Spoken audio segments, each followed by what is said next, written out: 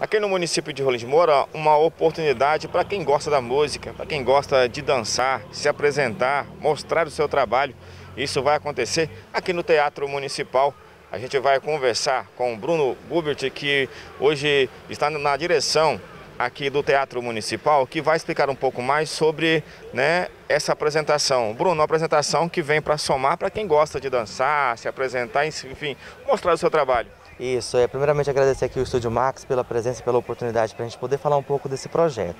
A ideia do projeto é o seguinte, muitas vezes o município tem alguns calendários de eventos e de certa forma nós não temos é, a oportunidade de convidar todos aqueles artistas do município, muitas vezes por não conhecer né, todos. Então a ideia é que essas inscrições que estão abertas é que atenda, é, seja feita a inscrição de todos os músicos e grupos de dança do município, para que todas as vezes que o município elaborar algum calendário de evento, a gente tenha o contato para poder estender o convite a toda a população do município de Rolim de Moura e o distrito de Nova Estrela, para que todos sejam inseridos na agenda de cultura do município.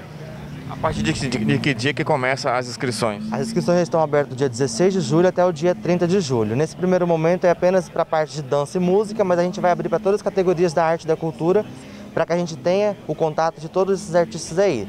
E até mesmo para que quando tiver alguma lei de incentivo à cultura, como a Aldir Blanc que teve recentemente, a gente possa informar a todos os artistas do município para que eles possam se inscrever e ser beneficiados com o recurso. Recentemente a gente teve aí um recurso para o setor de cultura, é, conhecido como a Lei Aldir Blanc, que tivemos apenas 230 inscrições mais ou menos, mas apenas 44 artistas foram beneficiados, enquanto os outros municípios foram mais de mil inscrições.